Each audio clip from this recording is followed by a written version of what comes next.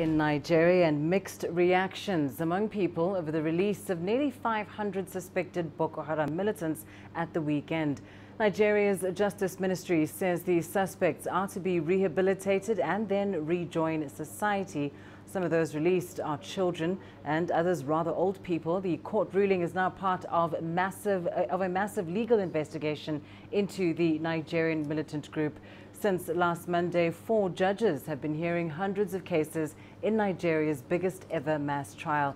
But there has been some controversy over the trial, especially when it comes to the effectiveness of the judiciary. But if they are not caught, they are just mere suspects, just see them by the roadside and you arrested them to be Boko Haram, it's unfair. Like the mass trial, I, I for one, I, I, I'm afraid because I, I lose confidence in the judiciary. There have been flaws in our security system.